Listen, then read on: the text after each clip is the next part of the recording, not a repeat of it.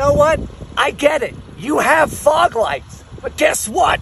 Doesn't mean you always need to have them on. There's actually one very helpful hint to know if you should have them on, and that's if there's fog. What are you trying to find down here? Squirrels? Groundhogs? Onion rings?